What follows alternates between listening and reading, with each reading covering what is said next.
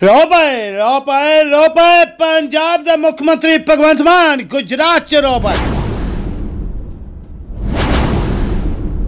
केजरीवाल की आतंकवादियों की तरह उसको ट्रीट कर रहे हो आप हाथ जाएगा सिटिंग मुख्यमंत्री है और मुलाकात ऐसे कराते हो जैसे किसी बहुत बड़े आतंकवादी के साथ मिलने आए हो कोई मैं भी मुख्यमंत्री वो भी मुख्यमंत्री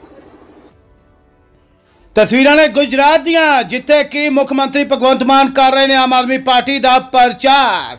ਕਿਉਂਕਿ ਦੇਸ਼ ਦੇ ਵਿੱਚ ਆਮ ਆਦਮੀ ਪਾਰਟੀ ਦੇ ਪ੍ਰਮੁੱਖ ਅਰਵਿੰਦ ਕੇਜਰੀਵਾਲ ਹੋ ਚੁੱਕੇ ਨੇ ਗ੍ਰਿਫਤਾਰ।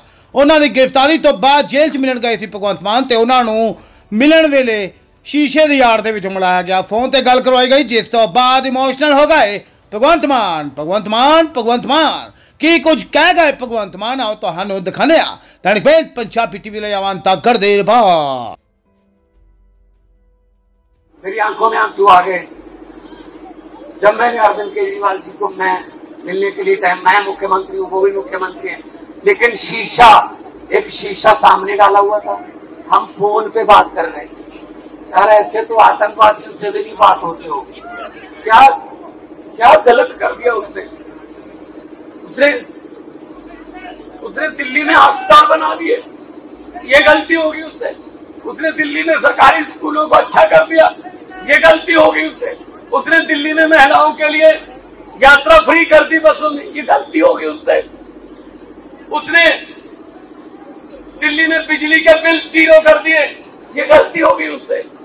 यही गलती है बस अरविंद केजरीवाल की। आतंकवादियों की तरह उसको ट्रीट कर रहे हो आप। हाथ जाएगा सिटिंग मुख्यमंत्री है और मुलाकात ऐसे कराते हो जैसे किसी बहुत बड़े आतंकवादी के साथ मिलने आए हो कोई? मैं भी मुख्यमंत्री, वो भी मुख्यमंत्री।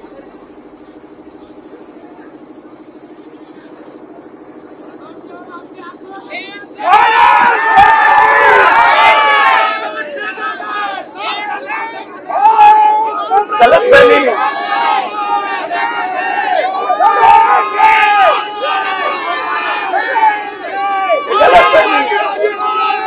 ये गलत में है। ये सत्ता वाले गलत फहमी में है कि एक ही पार्टी है जो हमको हरा सकती है। उसका नाम है आम आदमी पार्टी। उसके प्रधान को अंदर करके आप रोक लोगे।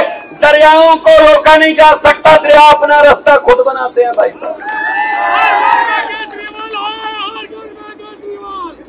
मैं कहूँगा, जेल के ताले टूटेंगे।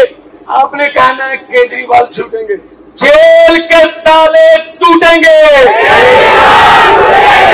जेल के ताले टूटेंगे। मैं तो यही कहूँगा कि हम वो पत्ते नहीं, ये आप लोग सब पत्ते हैं। हम वो पत्ते नहीं, हम वो पत्ते नहीं जो शाख से टूट कर गिर जाएँगे। आंधियों को कह दो अपनी औकात में रहे। कोई भाई साहब संकट के दिन है। हमको सबको केजरीवाल बनना पड़ेगा। यही मैसेज दिया कल उन्होंने यादव जी ने कि गुजरात वालों को कहना, सारे केजरीवाल बन जाओ। सारे सच बोलने लगो, सारे सच के साथ हो जाओ। यही मैसेज है उनका। लोगों को अक्सर कहते सुना है, कि ज़िंदा रहे तो फिर मिलेंगे। लेकिन इस दिल ने कहा है, मिलते रहे तो ज़िंदा रहेंगे।